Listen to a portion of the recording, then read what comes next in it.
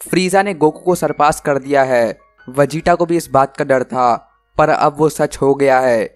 फ्रीजा का पोटेंशियल सयन से 50 गुना ज़्यादा है, और फ्रीजा ने सिर्फ़ 10 साल की ट्रेनिंग से एक नई फॉर्म अचीव कर ली है, जो कि गोकू और वजीटा से बहुत ताकतवर है। वो एक तरह से बीरस के लेवल पर पहुँच चुका है, और उसका गोल गोकू और वजीटा को हराना नहीं है। लगता है फ्रीजा बदल चुका है, और उसके पास एक नया गोल है नैमिक सागा में फ्रीजा एक ऐसा कैरेक्टर था जो कि साइंस को ख़त्म करना चाहता था। एक टाइम पर वो सबसे ज़्यादा पावरफुल कैरेक्टर था। और अब वो टाइम वापस आ चुका है। फ्रीजा पहले से बहुत बदल चुका है। पहले वो किसी को भी ज़िंदा नहीं छोड़ता था। उसने साइंस के पूरे प्लेनेट को ख़त्म कर दिया। नैमिक सागा में वजीटा गोहान क्रिलिन और पिकोलो भी उसके हाथों मरने वाले थे। अगर वहाँ गोकू नहीं आता तो कोई भी नहीं बच पाता। पर जब गोकू ने फ्रीजा को इतनी बुरी तरह हराया तो वो बदल गया। पहले उसको अपनी फुल पावर यूज़ नहीं करनी पड़ती थी, पर गोकू की सुपर सैन फॉर्म उसकी फाइनल फॉर्म को भी सरपास कर देती है।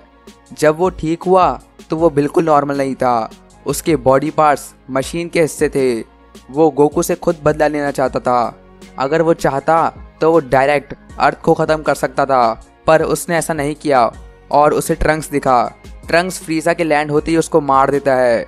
फ्रीजा दो दफ़ा सुपर सेन से हार चुका होता है और उसके बाद फ्रीजा ड्रैगन बॉल सुपर में आता है, जब वो अपनी इन दोनों हार की वजह से ट्रेनिंग करने का सोचता है।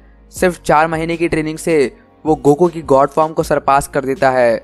उससे पहले गोकू ने सेल के लिए ट्रेनिंग करी थी। सात साल लगातार अदर वर्ल्ड में ट्रेनिंग करी और सुपर सैन गॉड का रिचुअल भी किया, पर उसको भी फ्रीजा अपने पोटेंशियल से सरपास कर देता है, जिसके बाद वो हेल के अंदर ही अपनी फॉर्म को मास्टर कर लेता है। टूर्नामेंट ऑफ़ पावर में फ्रीजा की हालत बहुत ख़राब हो जाती है। उसके अंदर वो टॉपो से बहुत बुरी तरह मार खाता है और सेम जीरन के साथ होता है। वो कैरेक्टर्स फ्रीजा के एक लेवल ऊपर थे और पूरे टूर्नामेंट में गोकू के अलावा जीरन को कोई नहीं हरा सकता था। कोई भी अल्ट्रा इंस्टिंग के लेवल पर नहीं था। गोकू को देखकर फ्रीजा भी शौक हो गया था। पर ब्रॉली मूवी में वो एक और साइंस से मिलता है, ब्रॉली। मूवी के अंदर ब्रॉली फ्रीजा को एक घंटे तक मारता रहता है, जिसके बाद वो गोजिटा को देखता है। और फ्रीजा को इस पॉइंट पर समझ आ जाना चाहिए कि वो गोकू और वजीटा को नहीं हरा सकता। तो जब वजीटा और गोकू ग्रेनोला से लड़ रहे होते हैं फ्रीजा को एक प्लेनेट मिलता है, जिस पर एक हाइपरबॉलिक टाइम चेम्बर था, जहाँ उसने 10 साल ट्रेनिंग करी। उसने पहले चार महीने की ट्रेनिंग से अपना पावर लेवल बहुत ज़्यादा बढ़ा लिया था।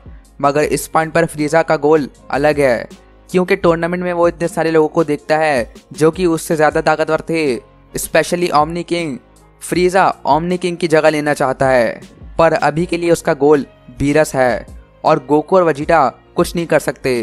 वो बहुत ही ज़्यादा कमज़ोर हैं फ्रीज़ा के सामने, क्योंकि फ्रीज़ा उन दोनों को सरपास करने के लिए ट्रेनिंग नहीं कर रहा था।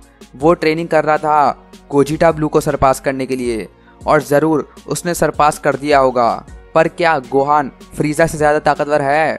तो उसका जवाब होगा, नहीं, वो फ्रीजा से कमज़ोर है, जबकि मांगा और एनी में कनेक्टेड नहीं है। गोहान ट्रू अल्ट्रेंसिंग को सरपास कर चुका है, लेकिन वो गोहान एक टाइम स्किप के बाद है। ग्रेनोला आर्क और सुपर हीरो मूवी के बीच में एक बहुत बड़ा गैप है।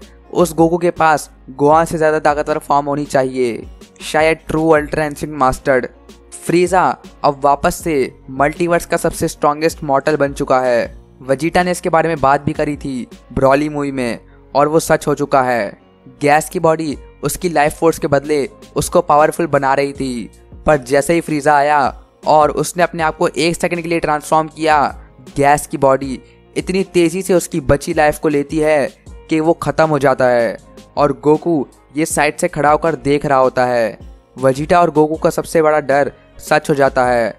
हम उन दोनों के फेस पर डर को देख सकते हैं। फिर फ्रीजा उन दोनों को अपनी नई फॉर्म दिखाता है। ब्लैक फ्रीजा और अगले ही सेकंड वो वजीटा और गोकू को एक ही शॉट में ख़त्म कर देता है। बिल्कुल उसी तरह जब रेडिट्स ने गोकू को मारा था। इस बारी दोनों ट्रू अल्ट्रा इंस्टिंक्ट गोकू और अल्ट्रा ईगो वजीटा कुछ नहीं कर पाते। ये करने के बाद फ्रीजा उन दोनों को छोड़ देता है। जैसे उसके पास कुछ और करने के लिए है। अगर कोई है जो कि फ्रीजा के रास्ते में आ रहा है तो वो होगा बीरस। और फ्रीजा का नेक्स्ट टारगेट भी बीरस हो सकता है, क्योंकि Dragon Ball Super Super Hero future में सेट है। बीरस के प्लेनेट पर हमें ब्रॉली दिखता है। शायद वो ब्रॉली को फ्रीजा से बचा रहे हो। पर वीस ये भी बोलता है कि फ्रीजा से ज़्यादा ताकतवर वॉरियर यूनिवर्स में है। इसका मतलब आगे बहुत कुछ होने वाला है। तुम्हें क्या लगता है इस ब्लैक फ्रीजा के बारे में? क्या तुम्हें लगता है गोहान फ्रीजा को हरा सकता है? या गोजिटा ब्लू फ्रीजा को हरा सकता है? कमेंट करके बताओ। ऐसी और वीडियोस के लिए मेरे चैनल को सब्सक्राइब कर दो। मैं मिलता हूँ नेक्स्ट वीडियो में, तब तक के लिए गुड बाय।